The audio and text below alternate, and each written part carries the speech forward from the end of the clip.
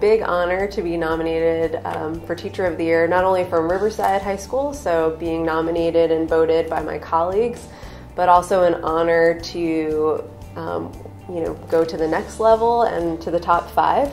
Um, I wasn't expecting it, and I'm very honored to be acknowledged by um, people in Durham Public Schools. My students inspire me by needing different things. Each one of them needs biology in a slightly different way.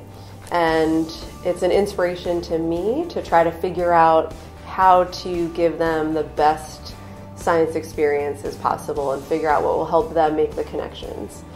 I think Miss Twietmeyer should win this award because she's a great teacher, she's a great giver, and she helps anyone when she can. Ms. Twietmeyer offers different ways for you to learn so that it covers everyone. People who are visual, people who learn through activities, and people who learn more through maybe like hearing.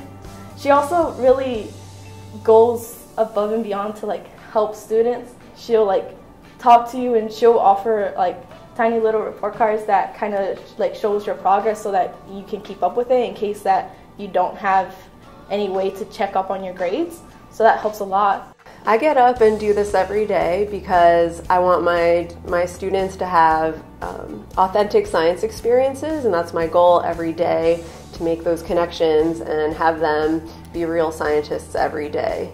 Um, I come to work every day because I'm proud of this profession, and I hope that we can work towards having educators be decision makers at all levels um, uh, for anything that needs to be decided in education.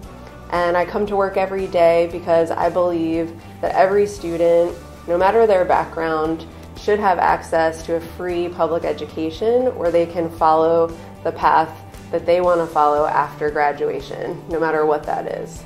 And that's why I teach.